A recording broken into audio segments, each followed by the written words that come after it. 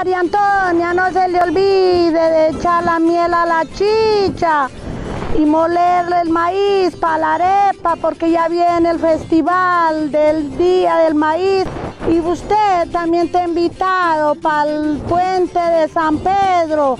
Invita la alcaldía de Ramiriquí y esta servidora María López y se hace todo por internet.